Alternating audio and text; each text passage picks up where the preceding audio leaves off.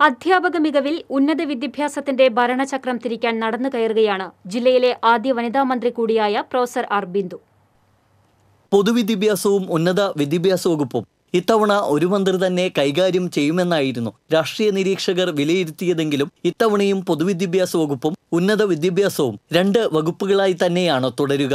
ഒന്നാം പിണറായി സർക്കാരിൽ ഉന്നത വിദ്യാഭ്യാസ വകുപ്പ് കൈകാര്യം ചെയ്തിരുന്ന കെ ടി ജലീൽ മന്ത്രിസഭയുടെ അവസാന നാളുകളിൽ രാജിവെക്കേണ്ടി വന്നത് പാർട്ടിക്ക് തിരിച്ചടിയായിരുന്നു. ഇതിനുള്ള പരിഹാരമായാണ് ഉന്നത വിദ്യാഭ്യാസ വകുപ്പ് വനിതാ മന്ത്രിക്ക് കൈമാറി മറ്റൊരു ചരിത്രം സി പി എം തിരുത്തിക്കുറിച്ചത് ഉന്നത വിദ്യാഭ്യാസ മേഖലയിൽ കൂടുതൽ മാറ്റങ്ങൾ നടപ്പിലാക്കാൻ പ്രൊഫസർ ആർ ബിന്ദുവിന്റെ നേതൃപാടവത്തിന് സാധിക്കുമെന്ന പ്രതീക്ഷയാണ് ഉന്നത വിദ്യാഭ്യാസ മന്ത്രി സ്ഥാനത്തേക്ക് പ്രൊഫസർ ആർ ബിന്ദുവിനെ കൊണ്ടുവരാൻ പാർട്ടിയെ പ്രേരിപ്പിച്ച ഘടകവും തിരഞ്ഞെടുപ്പിന് തൊട്ടുമുമ്പ് വരെ അധ്യാപക മേഖലയിലും കോളേജ് മേധാവി എന്ന നിലയിലും തിളങ്ങിയ പ്രൊഫസർ ആർ ബിന്ദുവിനെ ഉന്നത വിദ്യാഭ്യാസ മന്ത്രിയാക്കുന്നതിന് പാർട്ടിക്ക് രണ്ടാമതൊന്നും ആലോചിക്കേണ്ടി വന്നില്ല.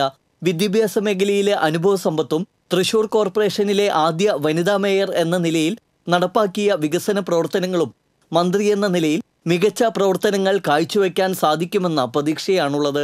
പ്രൊഫസർ ആർ ബിന്ദു ഉന്നത വിദ്യാഭ്യാസ മന്ത്രിയാകുന്നതോടെ വിദ്യാഭ്യാസ ഹബ്ബായി മാറുന്ന തൃശൂരിനും ഒട്ടേറെ ഗുണം ചെയ്യുമെന്നാണ് പ്രതീക്ഷ. T C V news Thrissur.